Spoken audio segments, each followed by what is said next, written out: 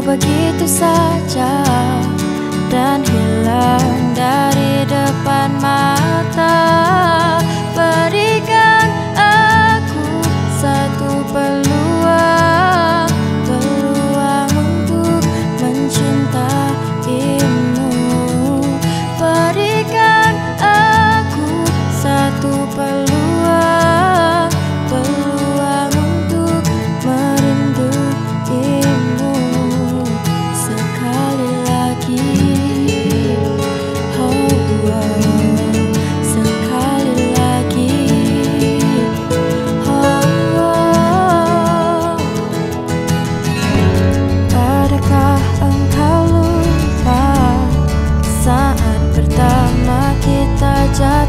cinta.